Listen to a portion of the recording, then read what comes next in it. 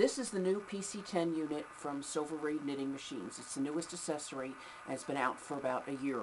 Uh, this is the electronic brain for the electronic machines. There are 100 pre-programmed designs in it and you can program your own in a blank memory and you save them to a flashcard.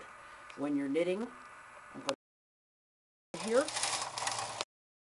see that each row is knitted, the design rotates down on the screen, weights off the knitting.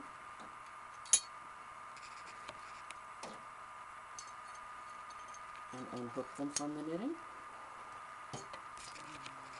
And here is the Farrow design that I was just working on. You can see the two color knitting.